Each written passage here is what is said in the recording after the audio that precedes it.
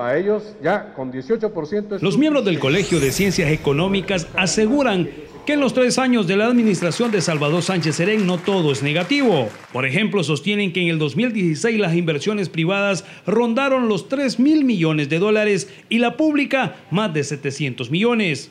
Esto permitió un crecimiento del Producto Interno Bruto del 2.4% y se proyecta para este año que alcance el 2.5%.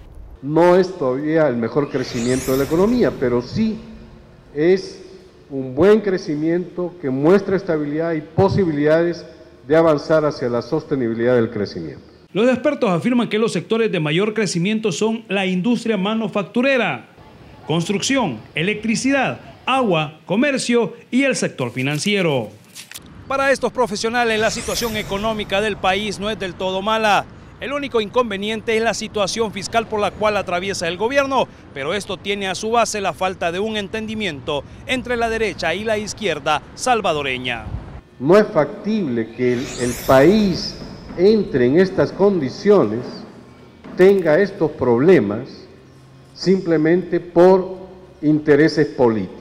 En el caso del problema fiscal que le genera al Estado el pago de las pensiones, afirman que estos están ligados a intereses políticos y económicos de las administradoras de fondos de pensiones. Las, em, empresas que administran las pensiones privadas, ¿verdad? No quieren soltar nada. Los economistas insisten que es importante trabajar en un acuerdo fiscal y en una reforma integral al sistema de pensiones para mejorar la calificación de riesgo país. Ángel Iraeta, Telenoticia 21.